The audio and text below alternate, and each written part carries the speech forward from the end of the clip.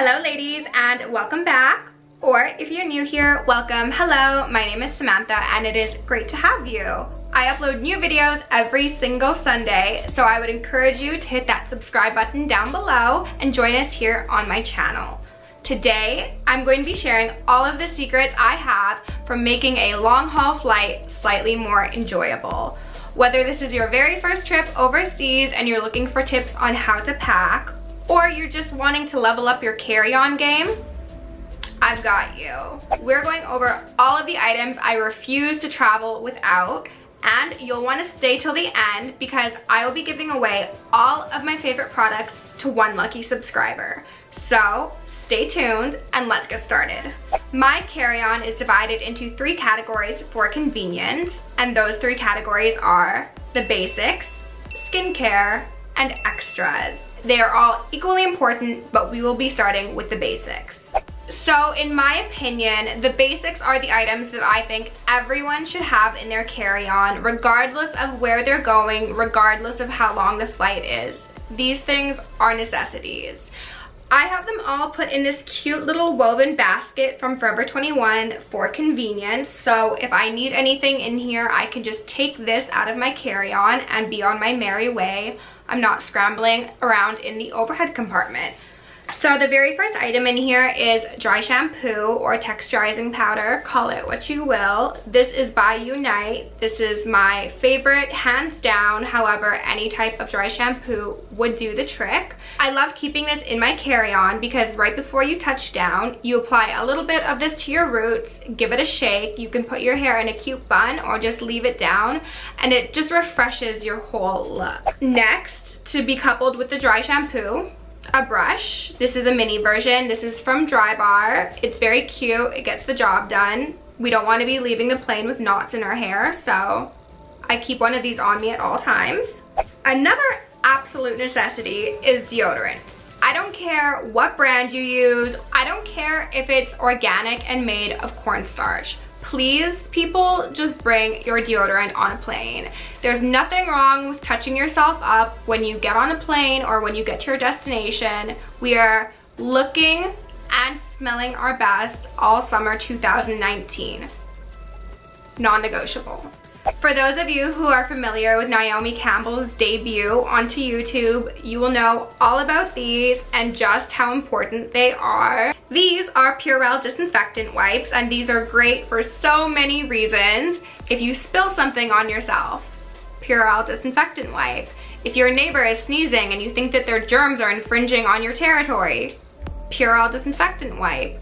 Clean your phone, clean your seat, clean your screen, clean literally everything in your vicinity because people are animals and they don't wash their hands in airports. If nobody has told you that before, I will tell you, so protect yourself.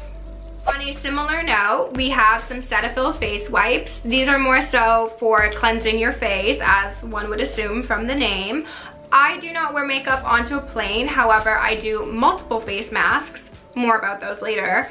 So I like to use these to prep my face before cleansing it. So these are great and they can also be used as hand or body wipes if needed. So picture this, you take your Purell wipes, you clean everything in your area, you cleanse your hands because that's important too, you wipe down your phone screen, you toss your wipe in the garbage, and now your hands are feeling dry. What do you do? Do you wait the 7 to 14 hours to land at your destination to get your lotion from your bag? Do you try the airline's lotion and leave ultimately disappointed? No, you bring your own hand cream like a responsible adult and everything is just fine. So this is Cake's Heavy Cream Hand Cream. It smells like cake batter and it's extremely nourishing. So it's great, 10 out of 10. Would recommend. So get you some of this or whatever brand you prefer and avoid having ashy hands for six hours because that will stress you out. Been there, done that. I would not recommend. This is yet another extremely underrated accompaniment to a carry-on. This is a mini lint roller because on a plane of 300 strangers, there's always going to be hairs and fuzzies and mysterious particles floating around that you don't want to take to your final destination. So get you one of these and before you leave the plane, give yourself a quick roll to make sure your outfit is looking just as cute as it was when you got on the plane. Next up, we have one of my favorite items, which is the face mask. This one is especially luxurious because it is fuzzy on the front and it has satin on the interior. Plus it's black, which means no light is getting in. If you are a light sleeper like me, these things are an absolute must have, especially if they're so soft. Like who cannot sleep when it feels like you've got a rabbit laying on your face? Like life changer, I swear. This is something you would have seen if you watched my what's in my $2,500 dump bag video. This is a battery pack for your cell phone. These are so important because nobody wants to get on a plane and have their phone die just to realize that their seat has the one plug that is broken. So come prepared and when you land in your strange destination and you don't have a converter for their plugs, you're still covered. I love these so much. I'll be including one of these in the giveaway along with a couple of the other items you guys have already seen. So keep on watching because those details are coming soon. My final suggestions in the basic category are Advil because who wants to get a headache one hour into a seven hour flight and suffer for six hours? Not me and melatonin because if you're adjusting to a new time zone, it's a struggle and these will help substantially. These are sublinguals, but you can also get pills and they are so great for adjusting to jet lag. Now for the final item in the basic category, a hand mirror. These are lifesavers because you never know when something's going to get stuck in your teeth or when the cabin crew dims the lights and you'll have to apply your face mask in the dark these really come in handy. So mirrors are super important. Just try not to break it and curse yourself with seven years of bad luck. While I understand that a lot of people like to take a break from their skincare while they're on vacation, I am the absolute opposite of that. I bring my skincare on the plane and it's not uncommon for me to do multiple face masks while I'm in the air. So let's dive into my skincare. As I said, I do not wear makeup on flights. However, I do bring some micellar water. This is just a trial from Dior that I'm bringing because I have it. This is what I would use when I get on the plane to cleanse my face of whatever bacteria it is accumulated. I would use that with some cotton pads. These are unexciting. They're the premium ones. They don't flake. They get the job done. After my micellar water, I will follow with my lotion P50 1970. This is a holy grail item. I cannot go without this. From the day I found this solution, I have not gone a single day without it. So I have a mini for the plane. And again, this is something I would apply with the cotton pads. To follow that up, I would do a mask such as this. This is OK's overnight mask. I love this mask because it does not need to be washed off. So you can put on a thick layer, go for a nap, eat your dinner, watch a movie, do whatever you need to do, and then you're good to go. I would personally do this mask, go for a nap, wake up, and then do this mask. I love this mask so much. Honestly, this is my number one mask in all the world. It is so hard to find, but it is so worth it. Whenever I go to Hong Kong, I stock up on this mask strictly because I've never seen it in North America. This is the Uzu Gold Foil Mask and it is phenomenal because it is a sheet mask that has an outer layer of gold.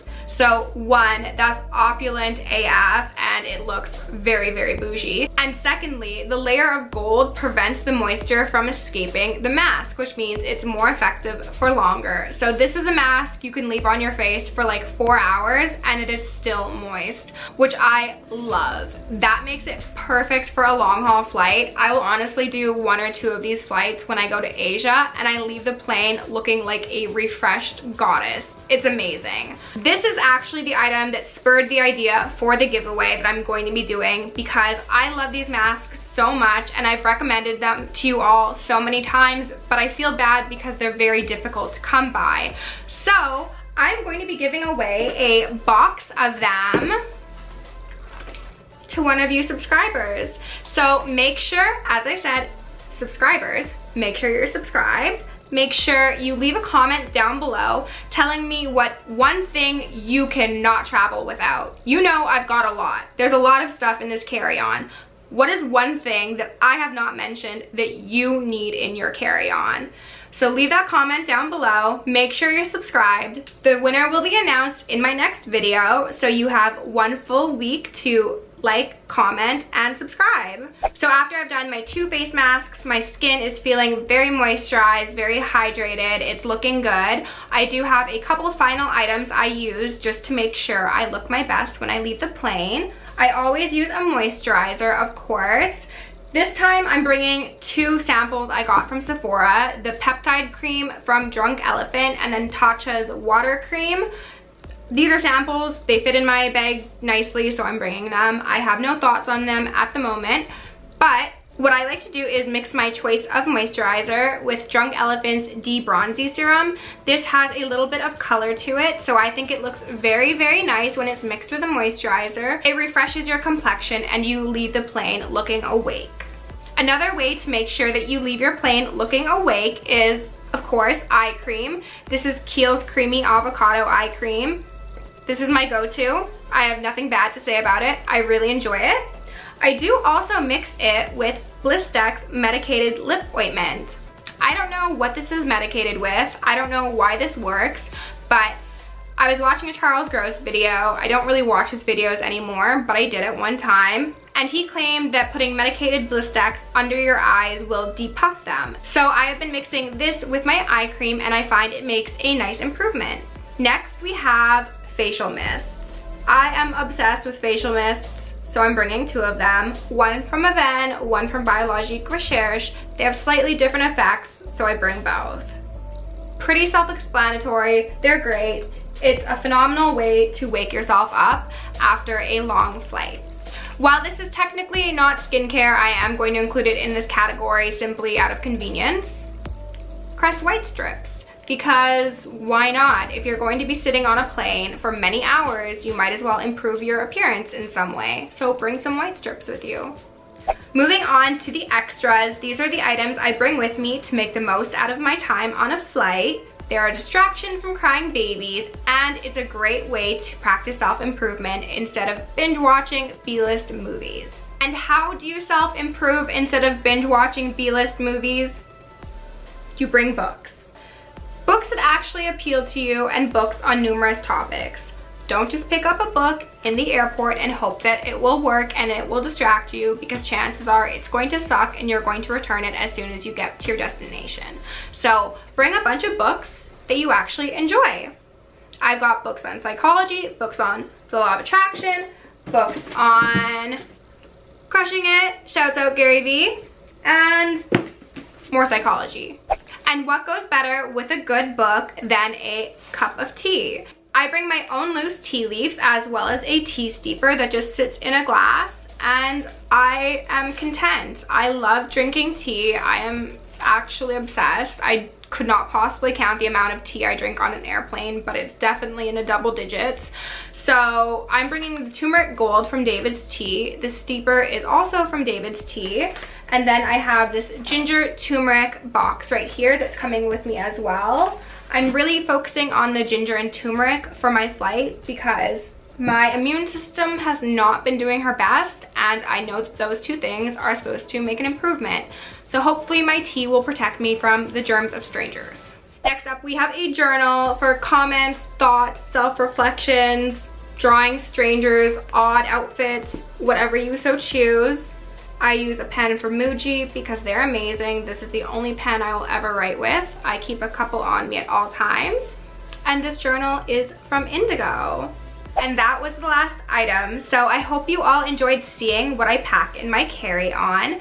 And if you did, please do give this video a thumbs up. And if you're interested in the giveaway, make sure you're subscribed and leave a comment down below. Thank you so much for watching. I appreciate it. I appreciate you. And I'll see you in the next one. Oh, also bring a water bottle with you because it's 2019. We're not buying bottles of water in the airport and contributing to all of the garbage going in our oceans. So come prepared, stay hydrated.